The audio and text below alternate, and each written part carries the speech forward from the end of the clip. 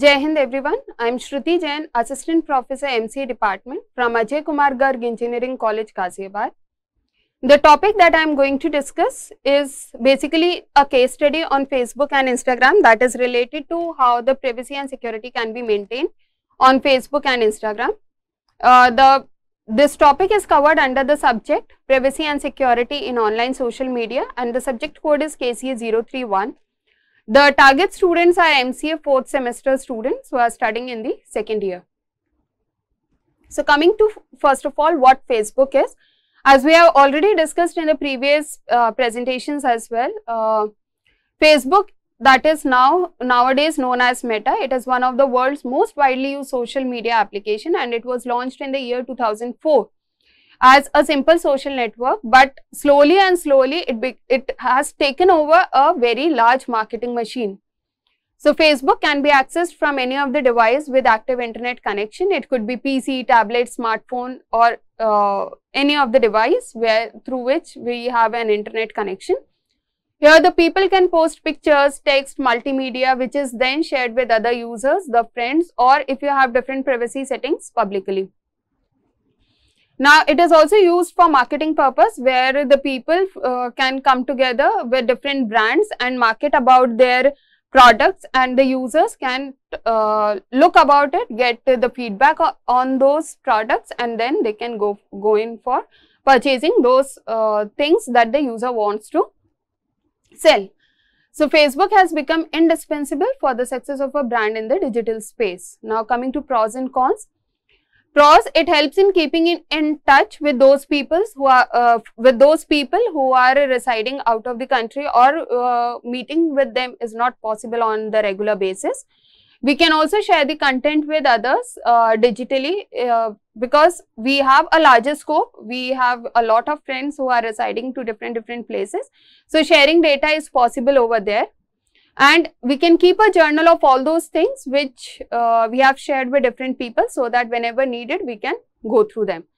The consequences there is no privacy and there is targeted advertising that means the uh, targeted users are taken up for advertising purpose which may be harmful for a particular user.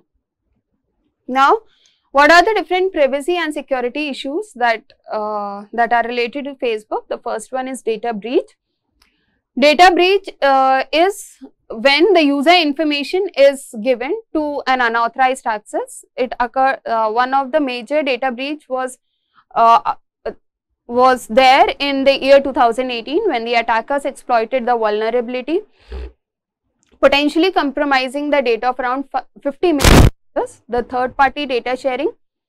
Uh, Facebook has faced criticism for its data sharing practices party developers. In the past, certain applications and quizzes on the platform collected and shared user data sometimes without explicit user consent leading to concerns about users privacy and misuse of personal information.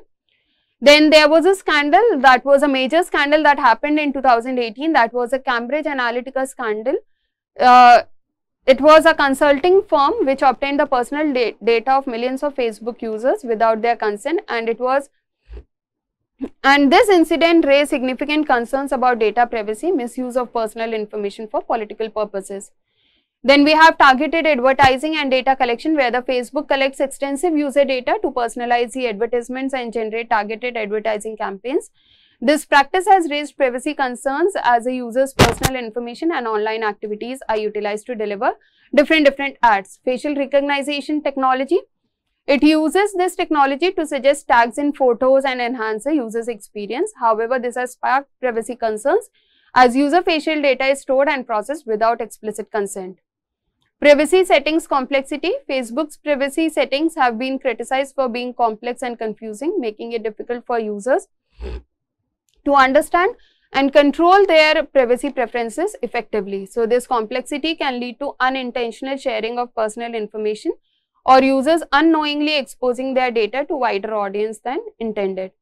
User tracking, uh, Facebook tracks user activities both on its platform and across the web using cookies and other tracking technologies which has raised a concern about user surveillance, data tracking and potential invasion of their uh, of privacy.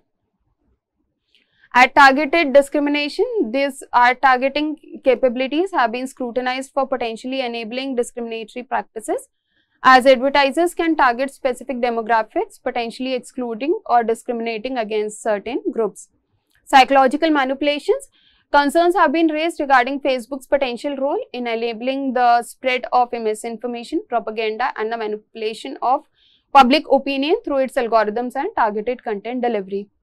Account security and unauthorized access. Uh, these Facebook accounts are occasionally subject to hacking attempts leading to unauthorized access, identity theft and potential misuse of personal information.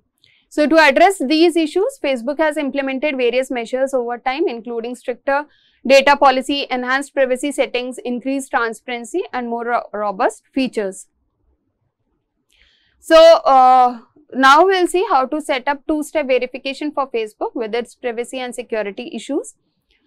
So, first of all, you need to log in into your Facebook account using your credentials. Uh, if, we, if you click on the downward facing arrow at the top right corner of the page, there you select the settings and privacy from the drop down menu and there you can click on the settings.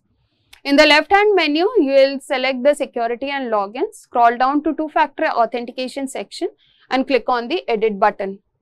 So, when you click on the edit button, you will have the preferred authentication method which are multiple in options which include the authentication app which uses a compatible authentication app like Google Authenticator or Duo Mobile to generate verification codes. Text messages receive various verification codes through SMS on your mobile phone. Security key, it use a physical security key such as USB key or authenticate your login attempts approval receive login approval notification through facebook mobile app so these are the different authentication methods that one can use in order to uh, check whether your account is logged in through a valid user so the step 7 talks about to select the desired method and follow the on-screen instructions to complete the setup process. The steps may vary depending upon the chosen authentication method. Once set up, Facebook will prompt you to enter the verification code each time you log in from unrecognized device or browser. So, enabling two-step verification, it adds an extra layer of security to your Facebook account by requiring a second factor of authentication in addition to your password. This will help protect your account even if someone gains access to your password. But it is important to note that two-step verification alone does not address all the privacy and security concerns on Facebook. So, to further enhance the privacy and security, we need to consider the following tips. The first one is to use a strong unique password for your Facebook account and you need to change it periodically. Enable login alerts to receive notification about login attempts on your account. Regularly review your account's privacy settings and customize them according to your preferences. Be cautious about the personal information you share on Facebook and adjust your sharing settings accordingly. Enable the features like profile review to review and approve tags before they appear on your profile. Stay vigilant against the phishing attempts and suspicious messages or links. Keep your devices and browsers up to date with the latest security patches and use trusted antivirus softwares. The next, be mindful of the apps and the websites that you are connecting with your uh, Facebook account and review their permissions and privacy policy. Regularly review and manage the apps and the services that have access to your Facebook account in the apps and the website uh, settings. Educate yourself about Facebook privacy and security features and stay updated on their policies and practices as they keep on changing from time to time to enable a more secured uh, application. So, by implementing two-step verification and following the best practices for privacy and security on Facebook, one can significantly reduce the risk of unauthorized access to your account and protect your personal information. Now talking about the next uh, well-known application that is Instagram which is also known as Insta. It is a photo sharing platform that has become a multi-level communication platform through which brands and people interact with each other. So today one can share pictures, stories and reels on Instagram. It, uh, it was founded in 2010 by Kevin Systrom and Mike Krieger and uh, it was later acquired by Facebook also known as Meta Platforms. So as an Instagram user, you can upload pictures, short videos, follow others feeds and geotag images with location names. So it is widespread uh, especially among the influencers who use the app to make a living, racking up thousands of followers. Influencers leverage them to do work for brands. So, influencers started from Instagram and other apps followed later on. Some of the uh, advantages it has a great visuals which uh, attract a large number of people to follow.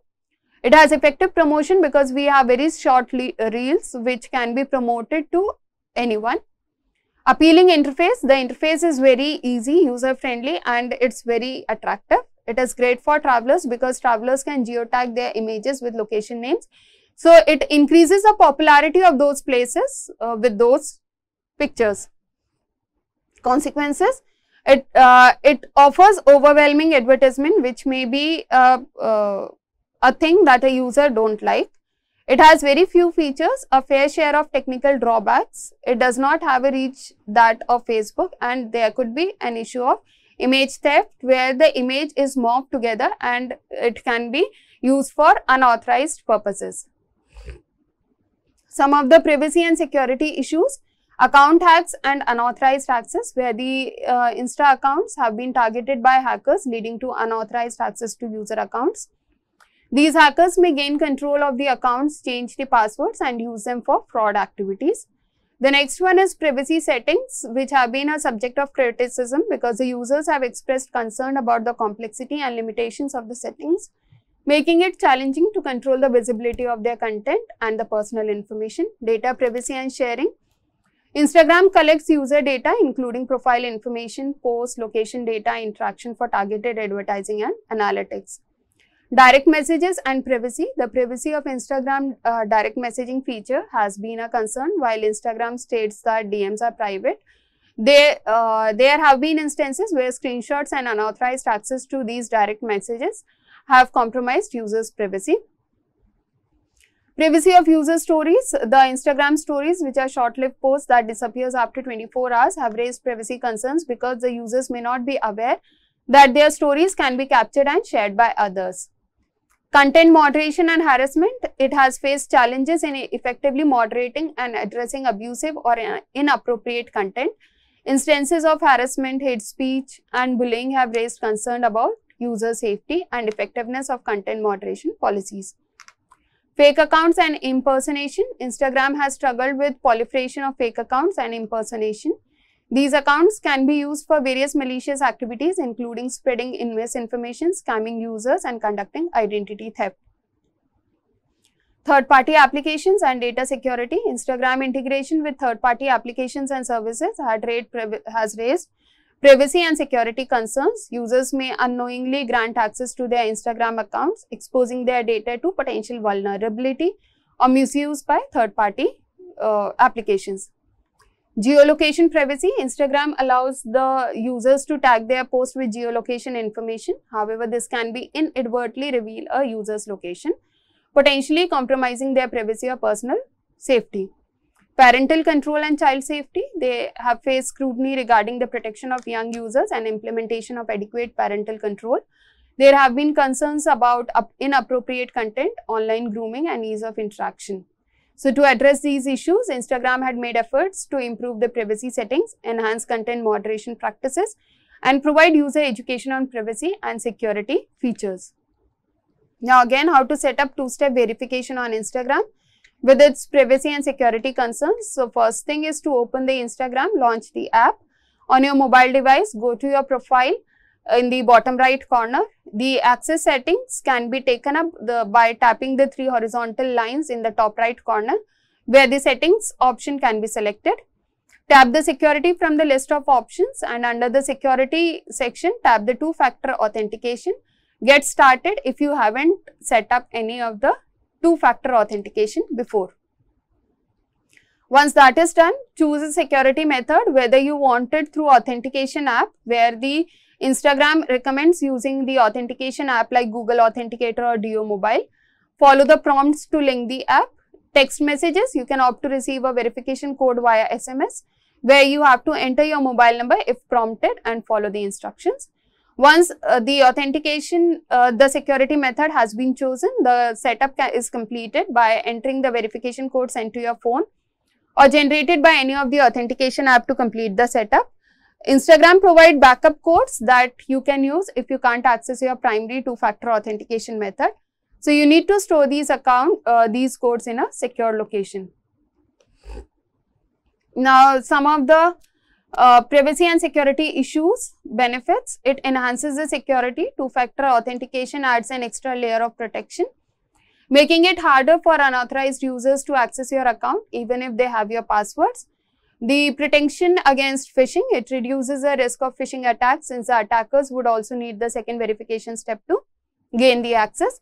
Some of the potential issues comes up with phone number vulnerability. If you use the SMS for two-factor authentication, then your phone number becomes a critical security factor. It could be vulnerable to SIM swapping attacks where the attackers take control of your phone numbers. Then you have the app dependency. If you use the authentication app, losing access to your mobile device can lock you out of your account unless you have the backup codes. Backup code security. Storing backup code securely is crucial. If these codes are accessed by someone else, then they can bypass your two-factor authentication. Privacy concerns. Sharing your phone numbers with Instagram for SMS based two-factor authentication can raise privacy concerns again as it adds to personal data the platform holds about you. So, what are the different recommendations for that? Use authentication apps, prefer authentication apps over SMS for enhanced security. Secure backup codes, keep backup codes safe in a secure, inaccessible place. Regular updates, regularly update your contact information and authentication app settings to ensure you don't lose them. And stay vigilant, vigilant about the phishing attempts and suspicious activities on your accounts. So, by enabling two-factor verification and being aware of potential privacy and security issues, you can significantly enhance the security of your Instagram account. That's all for today. Thank you.